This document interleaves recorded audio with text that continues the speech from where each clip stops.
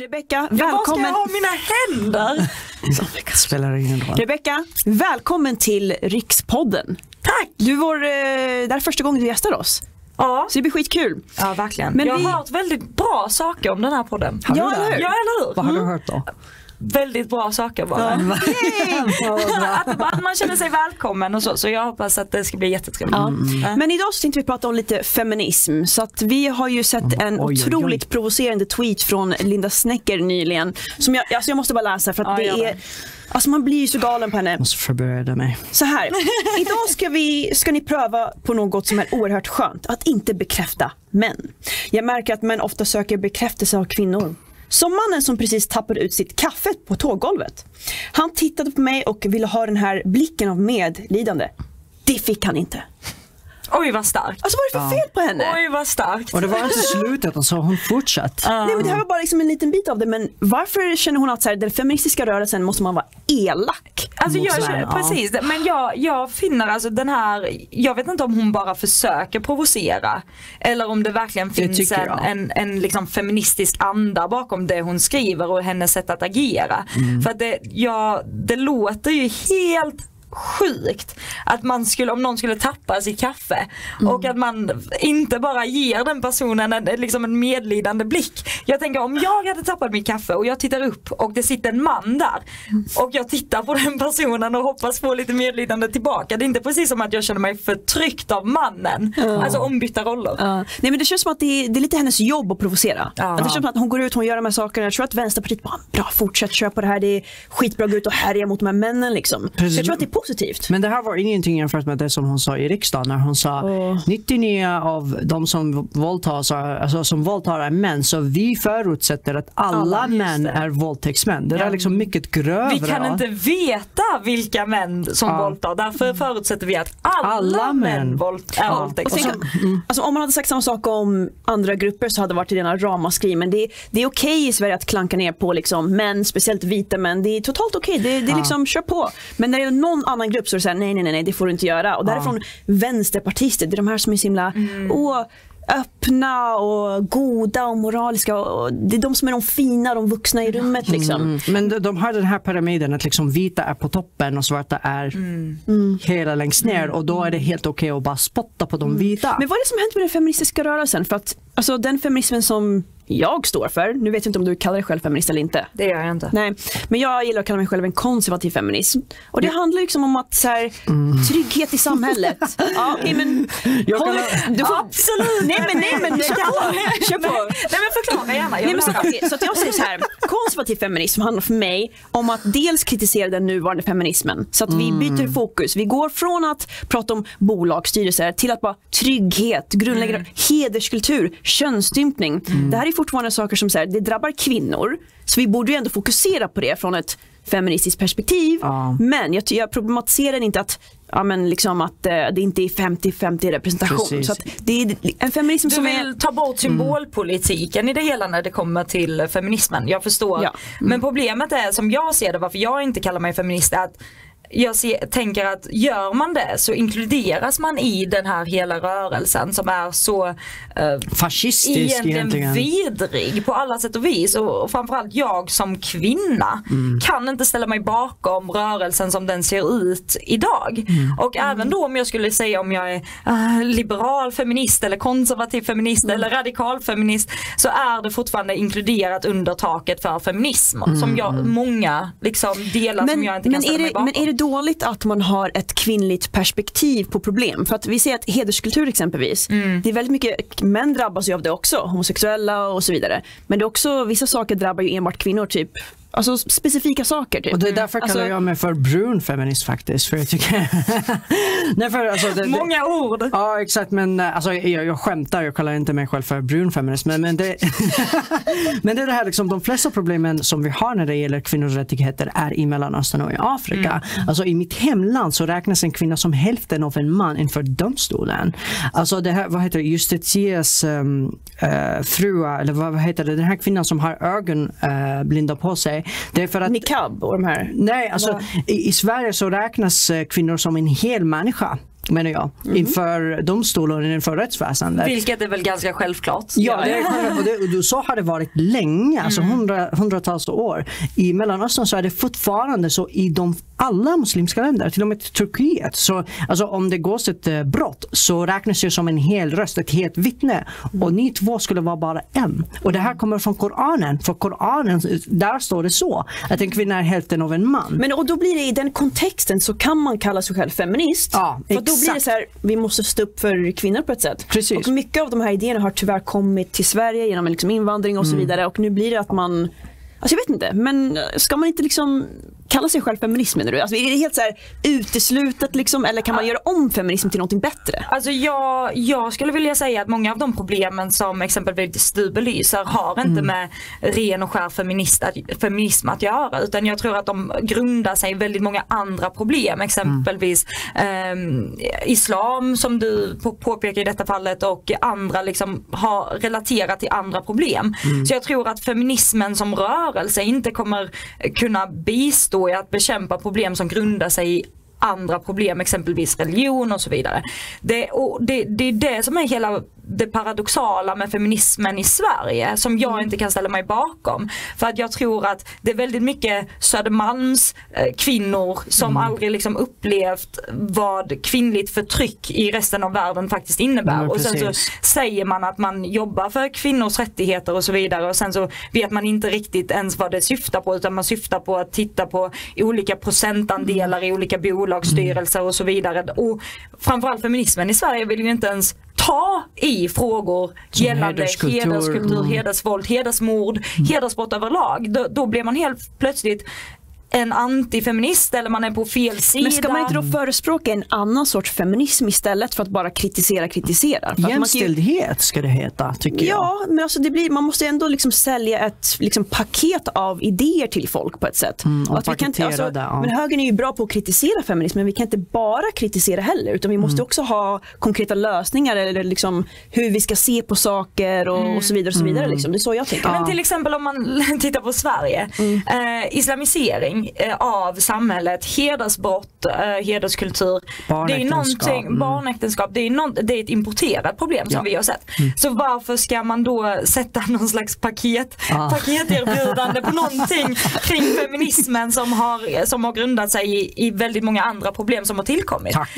Det jag ser liksom inte hur det ska vara en lösning som, som du säger att om vi erbjuder nu att vi tar in det här i paketet och att vi erbjuder den här lösningen. Om vi bara ta bort de importerade problemen så har vi inte de problemen. Så då behöver vi inte en feministisk ja. konservativ vi kommer, ju syn fortfarande- vi på kommer ju ha de här problemen lång tid framöver. Vi kommer ha problem med könsstympning, Ja, inte om man hederskultur. röstar på Sverigedemokraterna. Ja. Jag vet, 2017 var det jag hörde um, Richard Jomshof i riksdagen och han sa så här och det var den stunden jag tänkte liksom det här är mitt parti egentligen. Han sa att vi måste stötta de liberala krafterna i Mellanöstern och den i den muslimska världen som kämpar för kvinnors rättigheter, Ja. för kämpar för så.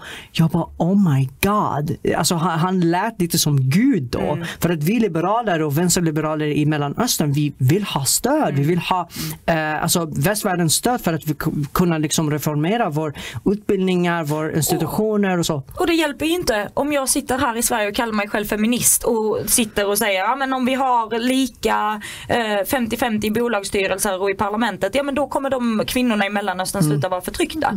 Det hjälper liksom inte. Vi måste ha ett större perspe- globalt perspektiv på feminism och, feminism och det finns inte i Sverige idag. Men det är och jag är- kommer inte ställa mig bakom. Men, fast jag håller helt med om det här feministiska hyckleriet. För det vi ser också att de, de pratar ju väldigt mycket om att de vill stå för kvinnors rättigheter men de vill inte ens prata om hederskulturen. Alltså, Alltså det är det som är hela hyckleriet i det hela. Liksom. det, jag blir så Exakt. trött.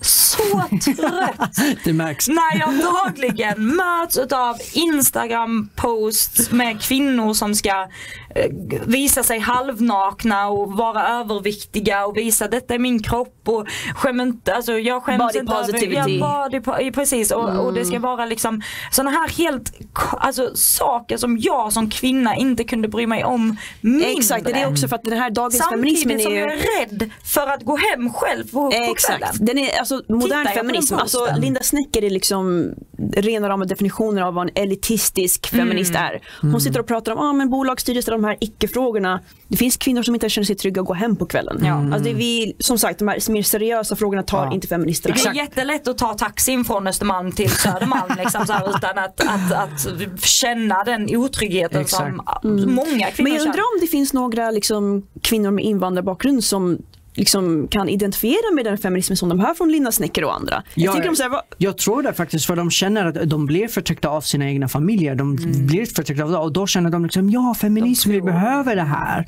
Och det är det jag menar. Men det, det problemet med feminism är språket. För, för att de säger det här som heter den binary choice tactic. Mm. Där man säger är du feminism? Säger du ja då är du en godkänd person. Ja. Säger du nej då är du liksom Hitler.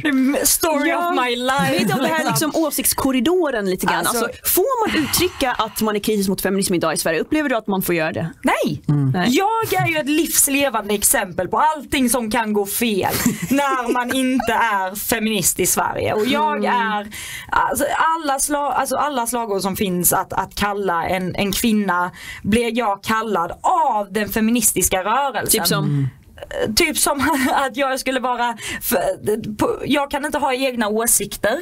Eh, De säger alltid att kvinnor ska stå upp för sina åsikter och de ska bara stå på sig för bla bla bla i samhället och så fort jag gör det då är jag förtryckt av eh, män för att jag, jag, de tvingar mig ha mina liksom, invandringskritiska åsikter. Jag försöker ligga med folk, det är därför jag har de här åsikterna. Alltså det är så här, det, det, det är de som säger att vi ska stå på oss men så fort jag säger fel åsikter då är jag förtryckt. men då är du liksom bara hjärntvättad av patriarkatet och det, Precis. det är killarna som bara tvingar dig att ha de här Man ska, åsikterna. man ska stötta, man ska säga sina egna åsikter, man ska säga dem högt så länge man inte säger fel. Så länge det är vänsteråsikter. Precis, så länge det är vänsterorienterat. Och jag är ju den som verkligen inte stöttar hela den rörelsen. Nej, jag säger som jag tycker och jag säger som jag känner. Och det är ju väldigt, väldigt i mångt och mycket fel enligt dem. De och då stöttar inte de mig Ja. Har, som de, kvinna. har de sagt att du har liksom internaliserad kvinnofientlighet? Ja men det är det de säger. Alltså det, det säger de till alla vi kvinnor som är konservativa. Det blir väldigt mycket av det här liksom att de tror inte på att vi tycker så här. Nej. Utan vi vill, det är samma sak, nu vill inte jag så här gå in på det här ämnet så, men eh,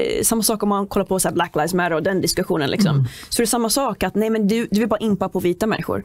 Du vill bara impa på, alltså att jag tycker inte man så. kan inte ha egna åsikter. Man kan inte ha egna åsikter. Liksom. Hur antifeministiskt är inte det? Att säga till kvinnor nej, du har inte de här åsikterna utan Det är du, helt det är någon mörkerman som står bakom det och typ så här har, har liksom Marionettdocka, ja, Liksom. just det, det får jag ju höra Alltså jag, jag har upplevt den extrema versionen av den här berättelsen för min mamma har försökt att liksom införa feministiska idéer i Yemen och då säger de att hon är liksom en väster, västerländsk hora som vill tjäna pengar från västvärlden.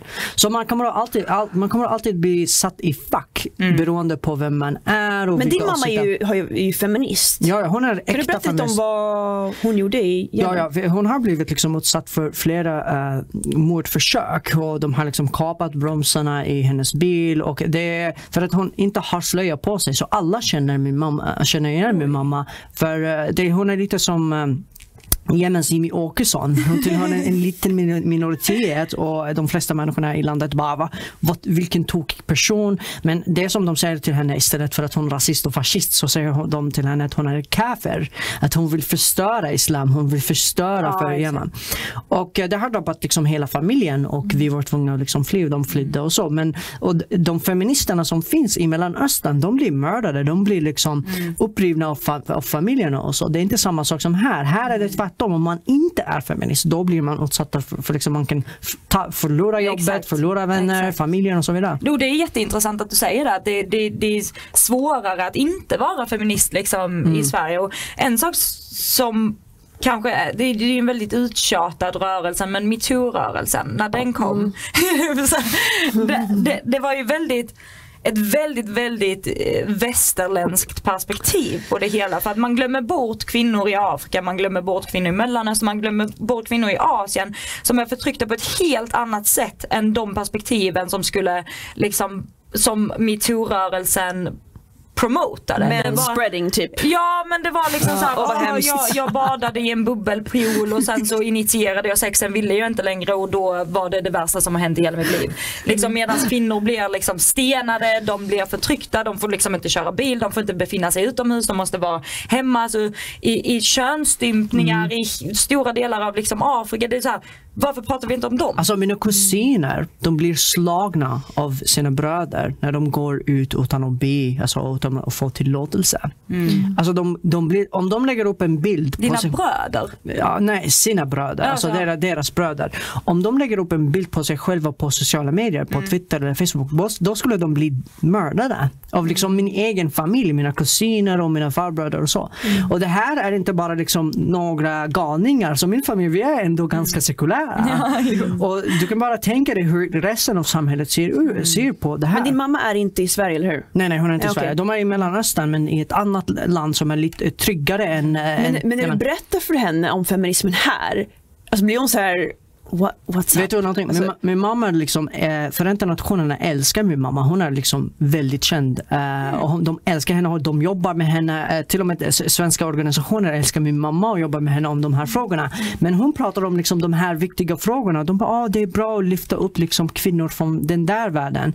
Men de kan inte, min mamma kan inte se henne eller känna igen sig i den feminismen som finns i Sverige. När jag berättar för henne om vad eh, svenska eh, feministerna här kämpar för, till exempel free the nipple, lö- löneskillnaderna, hon bara Va?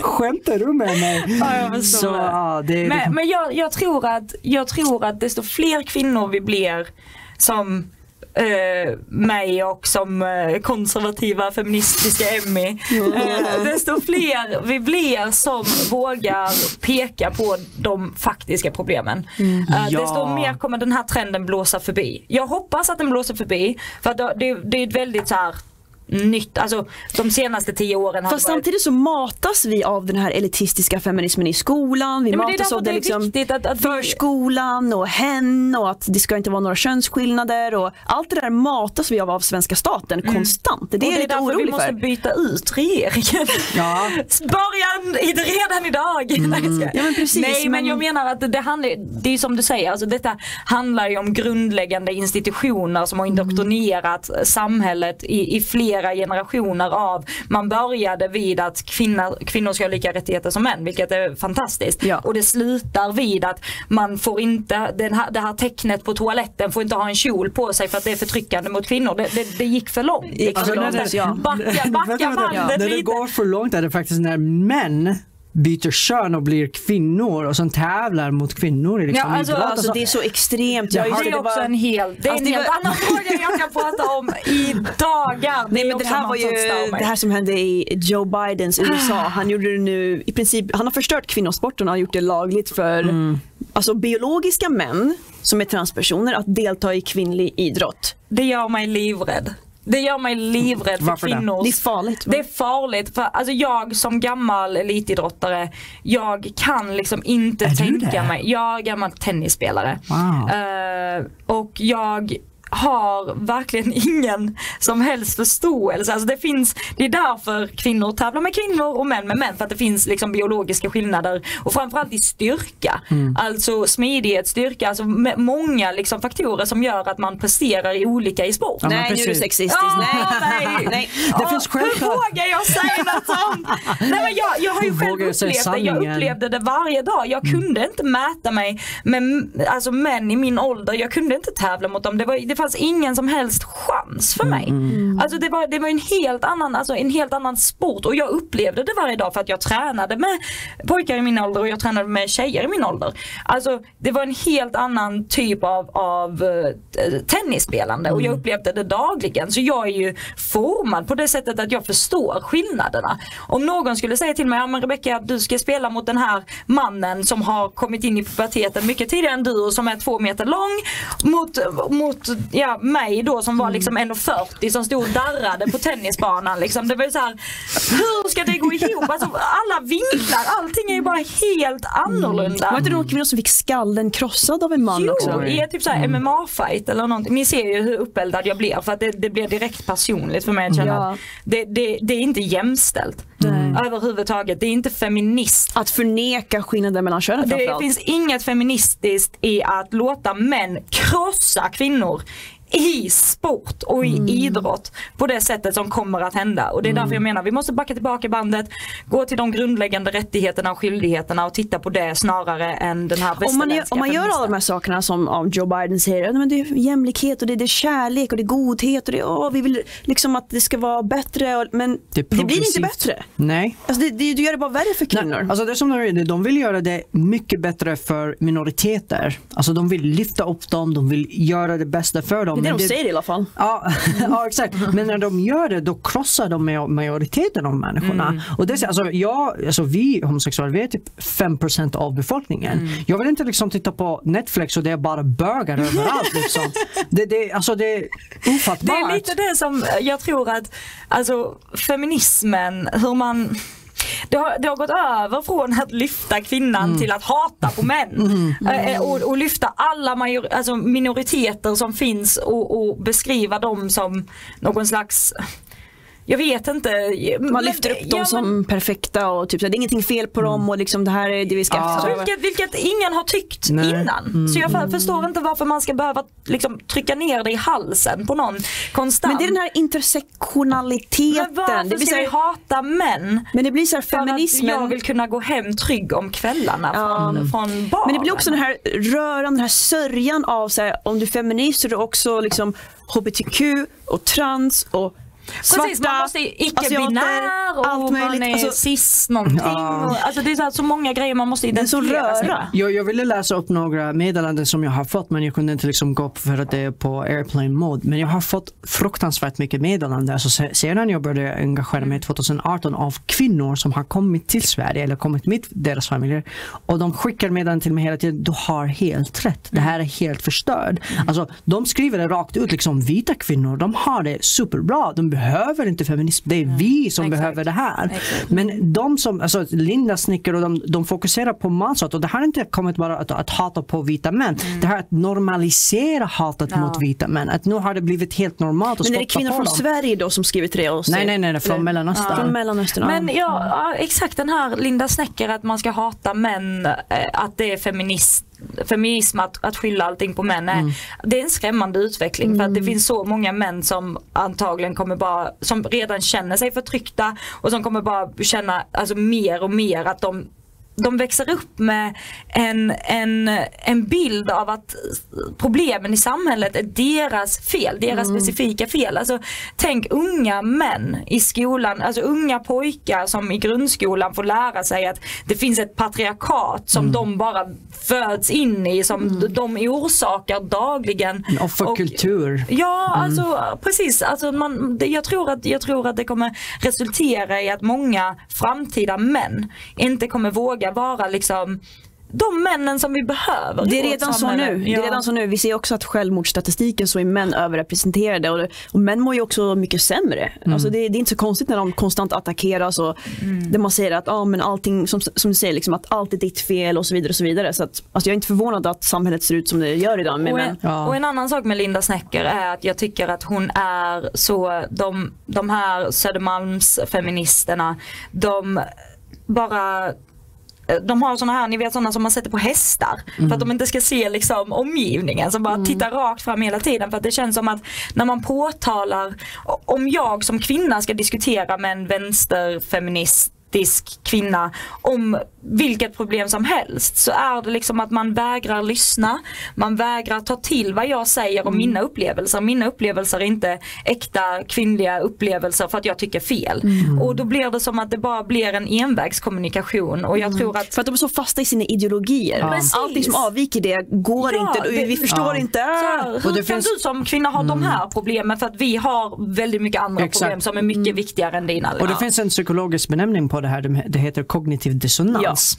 Att så fort de hör någonting som krossar deras världsbild, då blir de irriterade. bekräftelsebias, att bara konstant bekräfta sig själv istället för att lyssna på andra. Confirmation bias. Ja, Mm. exakt. Och det, det finns studier som visar att högermänniskor de följer vänstermänniskor på ett, ett, mycket större utsträckning än tvärtom. Så vänstermänniskor följer inte högermänniskor. Vad menar du? Alltså, Alltså på följer- sociala medier. Så när man kollar på eh, Jag tror att högern är mer öppen för Ja. debatt och diskussion och oliktänkande. Att Till exempel, det, det, man ser väldigt detta klimatet i Sverige att nu gör jag så här hela tiden. Det är som att jag ritar en karta.